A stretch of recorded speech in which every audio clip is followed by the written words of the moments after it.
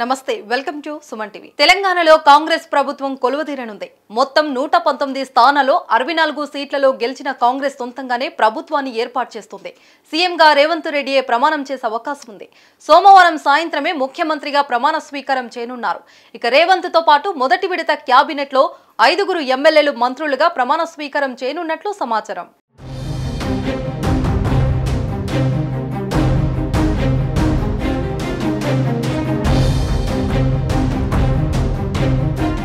ఈ రోజు ఉదయం నుంచి ప్రభుత్వం ఏర్పాటుకు కాంగ్రెస్ కసరత్తు ప్రారంభించింది. హైదరాబాద్లోని ఓ హోటల్లో సిఎల్పి సమావేశం నిర్వహించారు. ఈ సమావేశంలో ఏఐసిసి పరిశీలకులు కర్ణాటక డిప్యూటీ సీఎం డికే శివకుమార్తో పాటు గెలిచిన ఎమ్మెల్యేలు పార్టీ కీలక నేతలు పాల్గొన్నారు.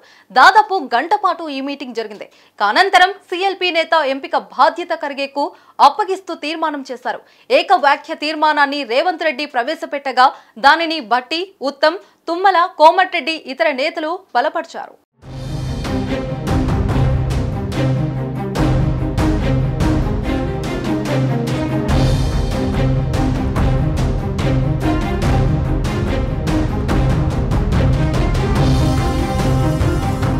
రేవంత్ రెడ్డికే సీఎం పగ్గాలు అప్పగించేందుకు కాంగ్రెస్ హైకమాండ్ నిర్ణయించినట్లు వార్తలు వస్తున్నాయి.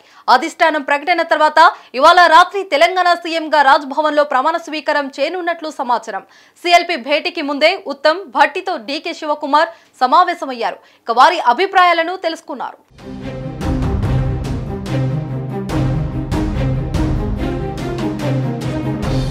డిప్యూటీ సీఎం రేస్లో పలువురు నేతలు ఉన్నారు. ఇక సామాజిక వర్గాల వారీగా ఒకరికంటే ఎక్కువ మందికి డిప్యూటీ సీఎంలుగా నియమించే అవకాశం ఉంది.